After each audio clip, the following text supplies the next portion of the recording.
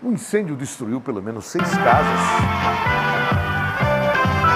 Bolinha, bolinha, está na hora de você entrar na linha. Bolinha, bolinha. Um incêndio.